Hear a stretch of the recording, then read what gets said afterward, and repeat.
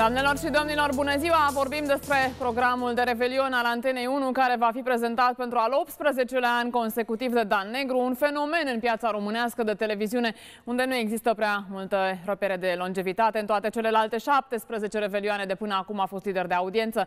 Dan Negru este în legătură telefonică directă cu noi acum și mulțumesc foarte mult pentru asta. Care crezi că e cheia succesului, să spunem?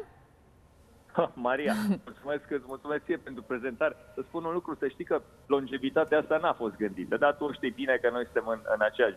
Uh, acum vreo 17 ani, nici prin cap nu ne-a trecut niciunuia dintre noi uh, că vom ajunge la al 18 lea în aceeași formulă. Adică nu ne-am gândit. Am avut norocul să prezint produse de Valerul Lazarov, de Titus Munteanu, de Adela Harnacea, de Dana Mlatin, de Monica Mihai, dar niciodată nu n-a fost în gând, da, să facem cu ne primul, al doilea, Da, să știi că poate dacă era în gând, poate n-ar fi ieșit așa de bine. Și asta e adevărat. Adică n-a fost nimic premeditat, cum ar veni. Suntem în piața aflată abia la început. În Italia, de exemplu, uh, Carlo Conti uh, prezintă de prin 92 uh, show-uri de genul ăsta. Sau în America, Jimmy Fallon, toți îl privim cu admirație, e la Henry din 1989. 89 ai dreptate. Reperele de longevitate, așa poate Andreesca la ProTV ca un reper de longevitate, în rest și poate Revelionul ăsta al nostru, dar în rest nu știu să existe mari repere de longevitate pe, pe piața de televiziune. Cu încet, încet vor exista, cu siguranță.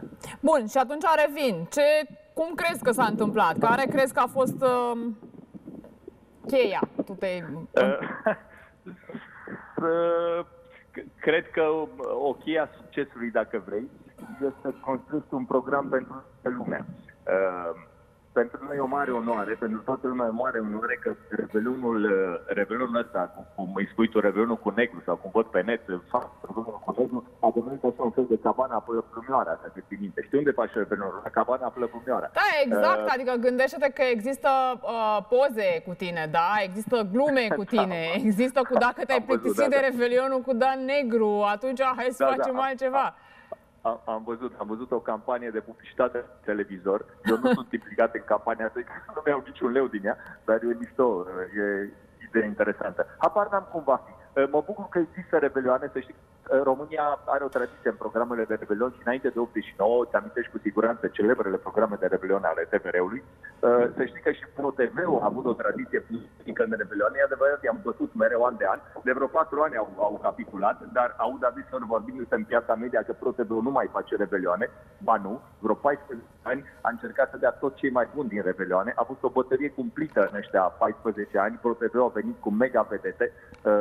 Uh, vedete care sunt, firește, în, în piața media peste tot, din showbiz. Adică uh, bătălia asta, Revelionul, a existat, să știi, întotdeauna. Nu e de un an, de doi, de patru, de cinci. A fost de una. Și un reper pentru, pentru uh, piața media din România.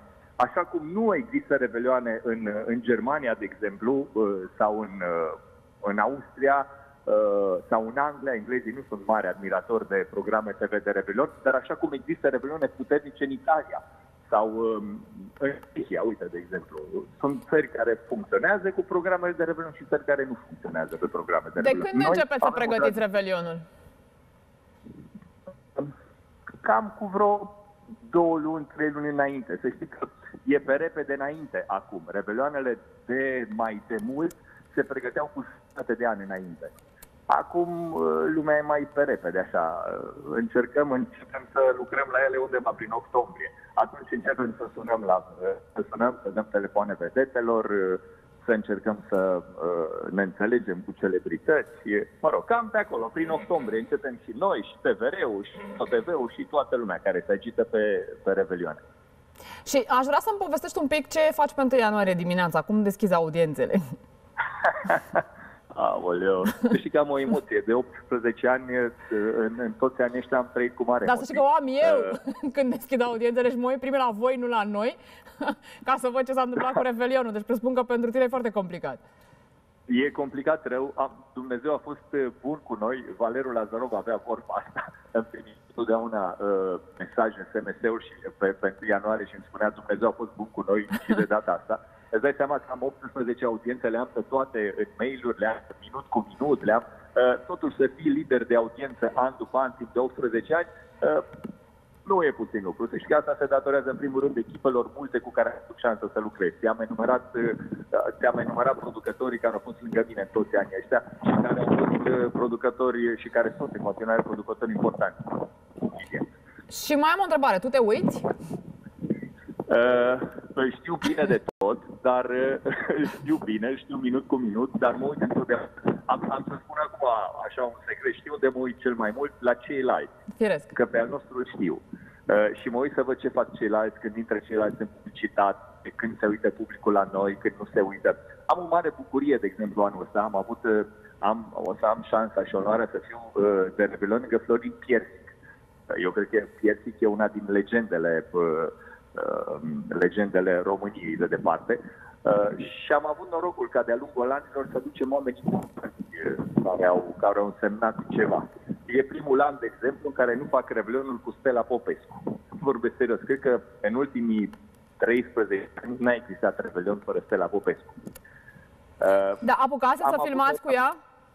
Nu, n-am apucat uh-huh. să mhm. filmăm. Am filmat cu Stella Popescu pentru noul meu show, Ismail Zicește Vârsta, Uh, chiar cu două săptămâni înainte de a pleca definitiv. Stella, cu două săptămâni a fost ultima filmare în televiziune a Stelei Popescu.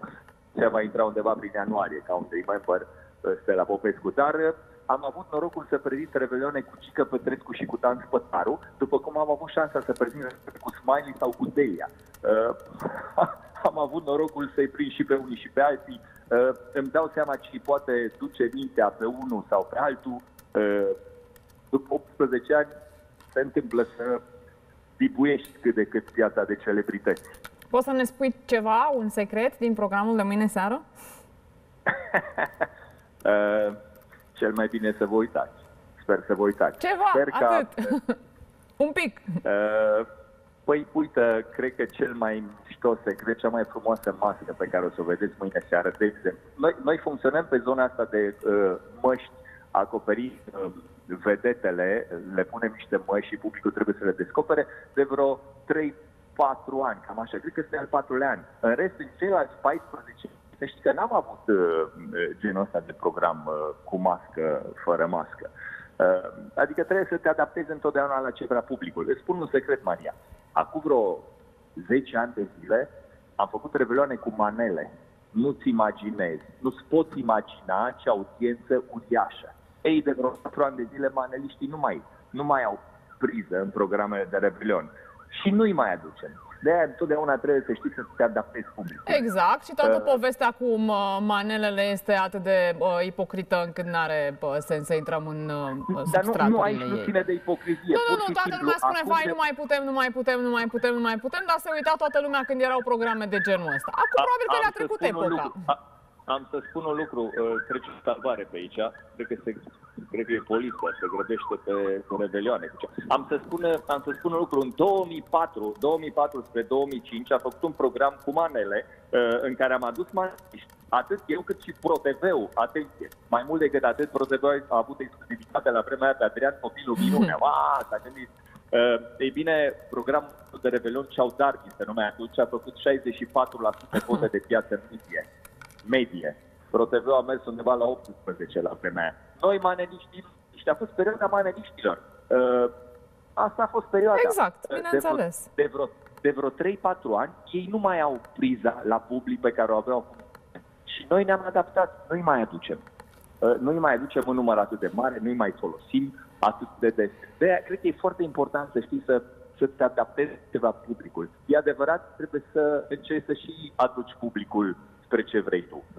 Îți mulțumesc da, foarte da, mult și uh, succes mâine seară. Ceea ce vedeți acum, uh, doamnelor și domnilor, sunt uh, uh, meme-urile despre care vorbeam un pic mai devreme, apropo de uh, revelioanele cu uh, uh Dan Negru, care au uh, devenit practic uh, adevărate tradiții și uh, sunt generează evident și uh, umor în uh, consecință.